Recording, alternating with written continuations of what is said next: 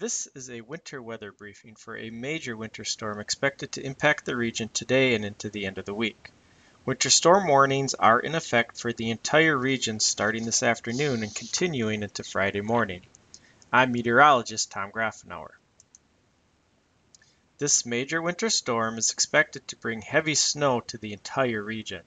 Blowing snow is also expected, and in fact, blizzard conditions are expected to develop Thursday afternoon within the Red River Valley. Travel will be difficult to impossible. Two rounds of snow are expected. The first round will move into the region by this afternoon, bringing 5 to 10 inches of snow to the entire region by Thursday morning.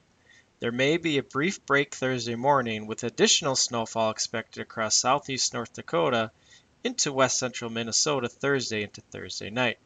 Six or more additional inches of snow are expected across this area, with a foot or more of snow possible. This snowfall map shows the total snowfall from both rounds of snow. Snow will spread from west to east across the region today, entering the valley early this afternoon. Besides heavy snow, blowing snow will cause additional impacts. Winds will turn north and increase on Thursday.